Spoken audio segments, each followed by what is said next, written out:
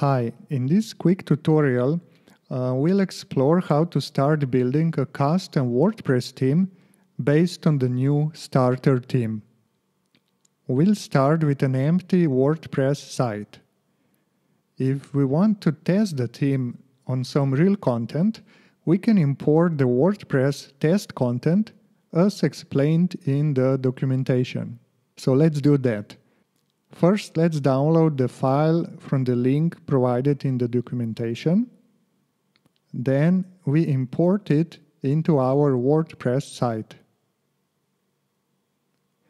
Okay, now we have lots of content and that will help us test all the features of our theme. And here we see that the starter theme documentation recommends a couple of WordPress plugins and none are required, so we can skip this step for now. And to set up our project, we download the starter theme zip and unpack it into an empty folder. And this will be the main folder of our project. Or instead of downloading the zip, we can also fork the starter theme GitHub repository and then use Git for managing our project. Whichever way we choose, we end up with the starter theme in the folder on our computer. So let's start Pinegrow and open this folder as a project.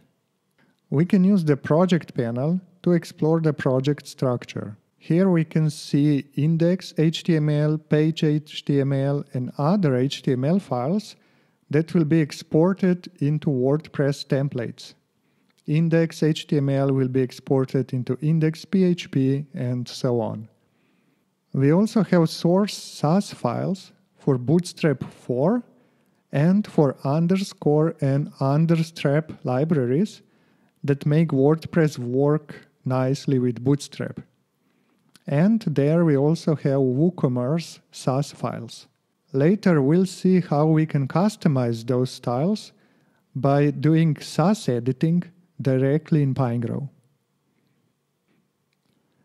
The project also contains some PHP files like sidebar PHP, search form PHP, comments PHP that will be copied directly to the exported theme. The new starter theme is an open source project, so it comes with files like README, license, code of conduct, and so on. And we can safely delete these files, otherwise, they will be exported to the WordPress theme. Okay, so now we are ready to export the theme for the first time.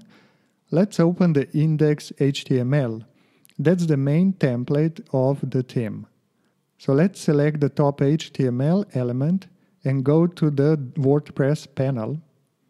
And there we see the WordPress site action that tells Pinegrow that index.html is the master page of the theme.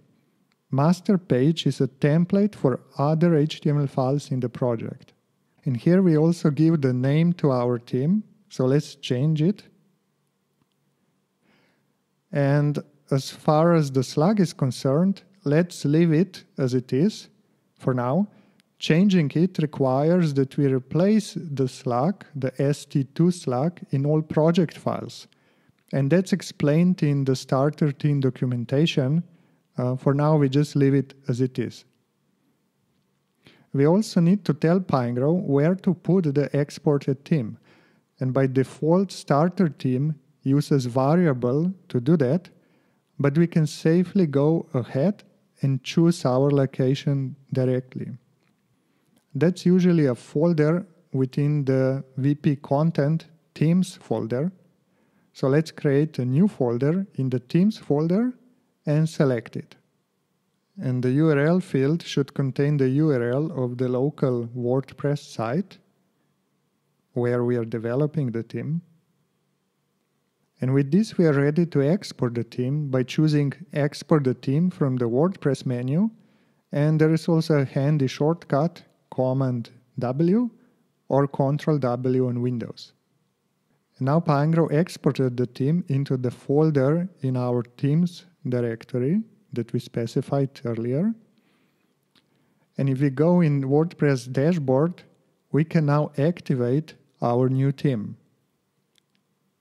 And let's visit the site. And because we imported the test content, we can see how the theme handles different posts, pages, comments, and various WordPress formatting options. So everything works and looks good out of the box. And that's the value that starter theme brings to the theme development process. And the starter theme is also ready for easy customization. Let's open the customizer. Here we can see that we have a bunch of sections that let us, or the end user, easily customize the site structure, colors, backgrounds, menus, and so on. And going back to Pinegrow, we can see that index.html contains more elements that are hidden while we edit the page in Pinegrow. And these are various sections and sidebars that we can activate and control with Customizer. And before we mentioned that index.html is defined as a master page for the project, we'll take a look at what this means. Let's open page.html and select the top HTML element. In the WordPress panel, we see the WordPress site action that tells Pinegrow that this page uses index.html as the master page. And also on the page, we have an element marked with the site content action. And this means that everything before this element with the site content action and everything that comes after this element is copied from the master page. So if we want to make a change that will affect all pages in the project, we just change the master page and then run WordPress apply master page to update the other pages. Let's take a quick look at the styling of the template and uh, let's change colors of the theme.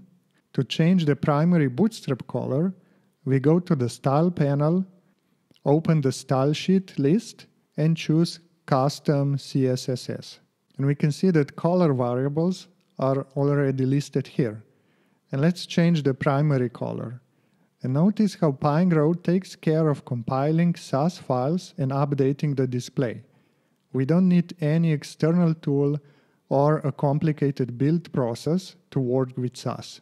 And we have a separate tutorial about customizing Bootstrap with Sass variables. Please check, check that one for details about the process. After making the changes, we just save the page and export the theme. And this was a quick introduction to the new starter theme. Please take a look at the documentation to learn more. And the new starter theme is free and is released as an open source project so that users who improve the theme in any way can also easily share improvements with the Pinegrow community.